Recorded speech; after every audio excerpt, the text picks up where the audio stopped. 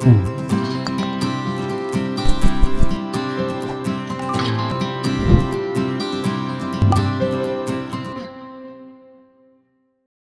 very warm welcome to SWAYAM course on design thinking and innovation.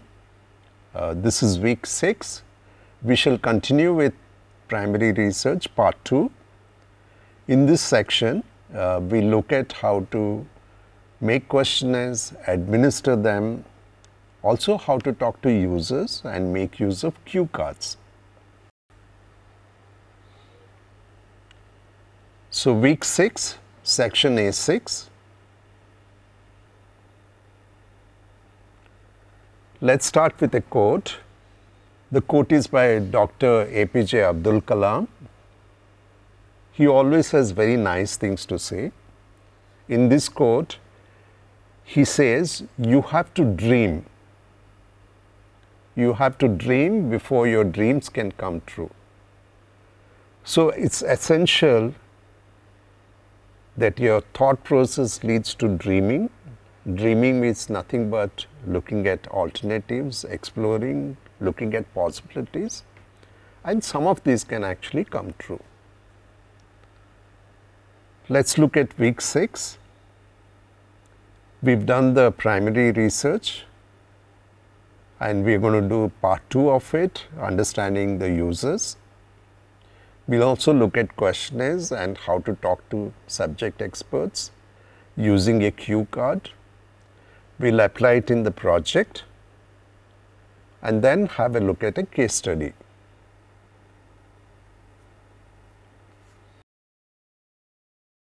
Let us have a look at primary research part 2, its content, which phase of the design thinking and innovation process is primary research, what are questionnaires and surveys what are the different types of questions in questionnaires? How does talking to experts help? Further studies and references.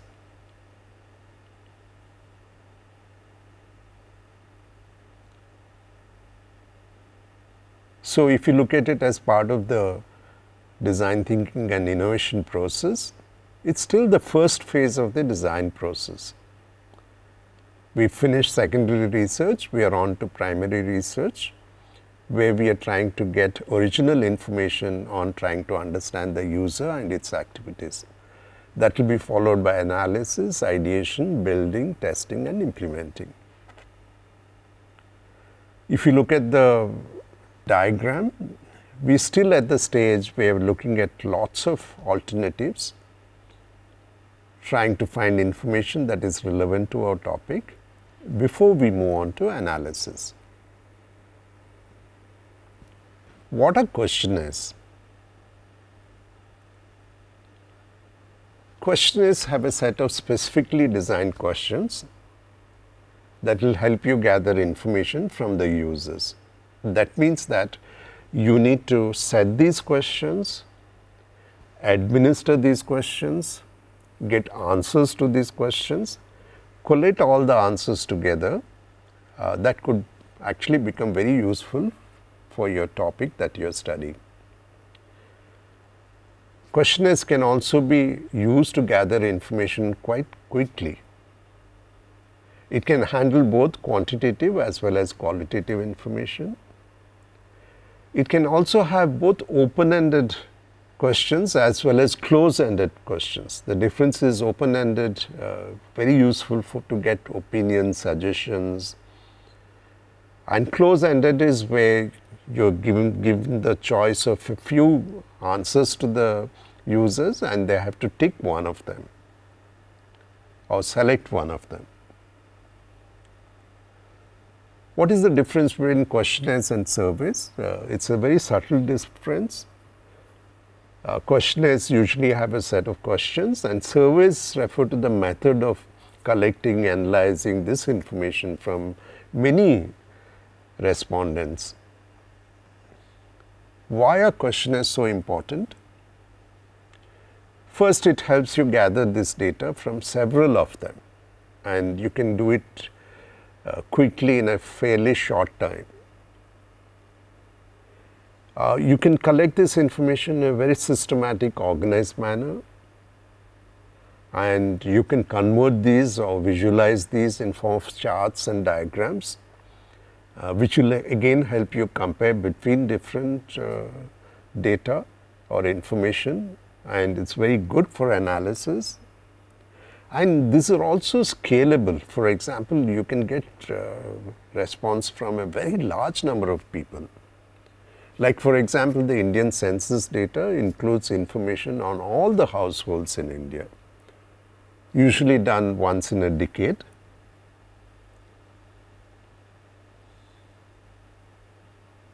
What are the types of questionnaires? It's important to realize the different types of questionnaires because uh, depending on how you actually do the questions, the responses also depend on it. Uh, there are two types of questionnaires that you can actually administer in person or it can be even done online through the internet or through a phone call. In-person questionnaires are administered face to face and uh, both are present physically. So, when you ask questions and then you write it down, so this is also very useful in case uh, you know the respondent doesn't know how to write or also in case which where it needs translation and talking to somebody with a different language. Online is you know administered online or through the internet or through a phone call and the responses uh, are filled uh, it can help in getting information very quickly from a large number of uh, respondents and also the respondents can be at different locations. And if you look at it, it's kind of cost effective to do online questionnaires. Let's look at the type of questions. The first is an open-ended question. It is unstructured. It means that it's very good for taking suggestions, feedback, you know, opinions, close-ended questions or structured questions uh, where uh, the, you give them few choices and the user usually selects one of these choices. Dichotomous questions, that means it has two answers, typically yes or no. Multiple choice questions where you have many choices, you can choose more than one and the fifth one is a scaling question. That means you ask them to rate between one figure and another figure. You know, I very much like it, I don't like it at all, and uh, there are levels in between them. So, let us look at each one of them. Open ended or unstructured questions allow a free expression or opinion. Uh, that is the nice part of it. Okay, but uh, you need to collate all this information and if you have too many of them, you will have too many opinions. So, for example, how do you like the course on design thinking and innovation so far? Each one of you will write the answers in a different manner. Okay, so uh, open-ended questions are great for this. Let's look at close-ended or structured questions. Uh, these have a predefined set of answers. That means that I give them a choice of answers. Okay. So, for example, how did you like the design thinking and innovation course?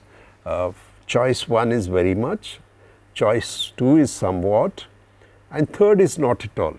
Okay. So, you make a choice between one of these as answers. Uh, so, these are called as closed ended questions which are predefined answers. Dichotomous questions uh, like it sounds uh, it's binary in nature so it has an yes and no. Okay did the design thinking and innovation course talk about tools? So if you remember tools you'll say yes. If you don't remember you'll say no. So let's look at some more questions fourth is the multiple choice questions that means that they have many answers to a question uh, for example, uh, asking the question, are these the phases of the design thinking and innovation process? Uh, first is research, analysis, ideation, marketing and prototyping, right. Maybe one of them is not really part of the design thinking and innovation process. Okay. So, if you tick the correct ones, then uh, you are giving the correct answers.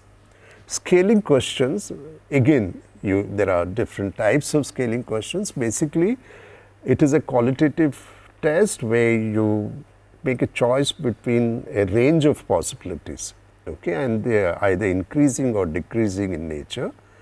Uh, like for example, let us look at the Likert scale questions, it is called also as the rating scale, okay, which has this uh, rate between, uh, you know, for example, here strongly agree, neutral, strongly disagree. So, it is a scale, it is a qualitative scale that I am using. Okay. So, quality of the DTI course was good, strongly agree, neutral, strongly disagree.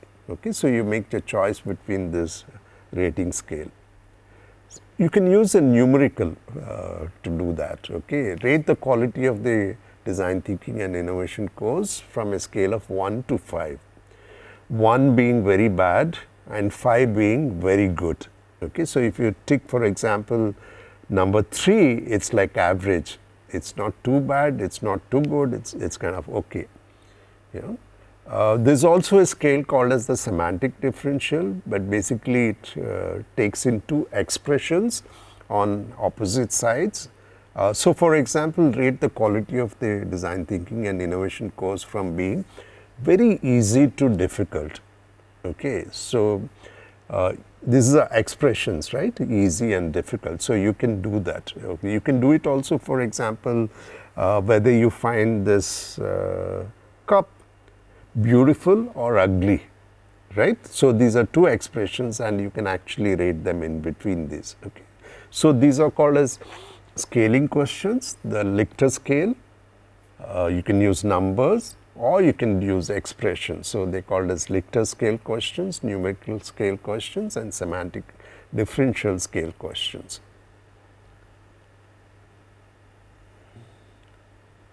This is we have mentioned this before when we were doing contextual inquiry the same holds good here uh, because you are going to be administering a questionnaire uh, you know and people have to answer them okay yeah, you cannot assume that everybody would answer your questions. So, you need to seek permission before you can do that.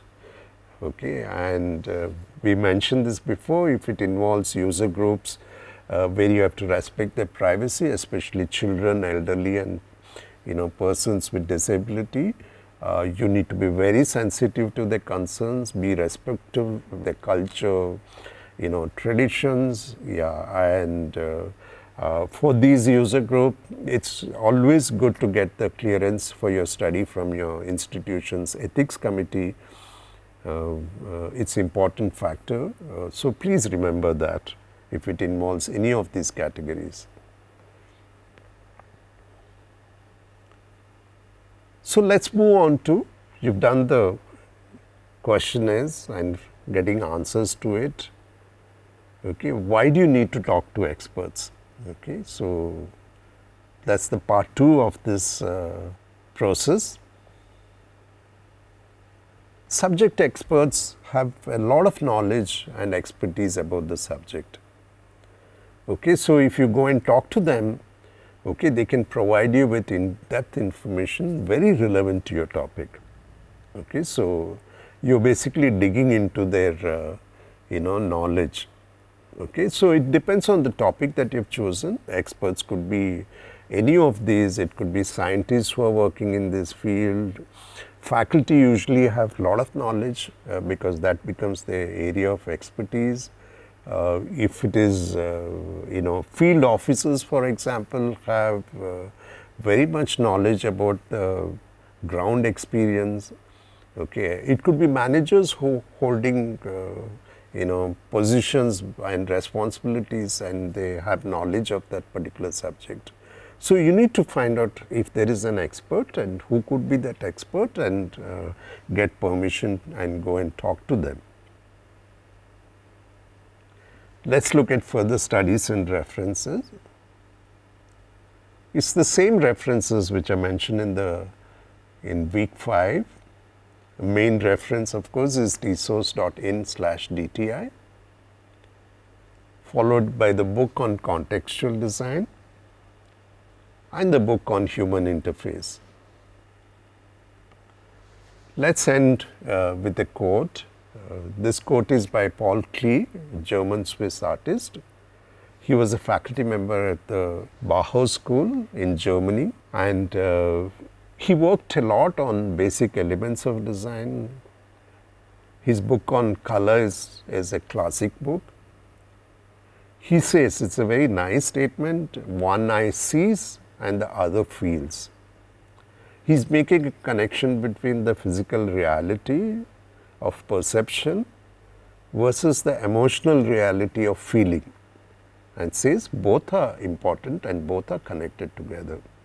Again, uh, very important for design. So, thanks a lot for listening. So, week 6 section A6. Let's summarize. We did primary research, uh, part 2, where we looked at questionnaires and talking to experts. So, we move on to the tool uh, of making questionnaires and talking to subject experts uh, using a cue card. Then we apply it in the project and then look at a project as a case study.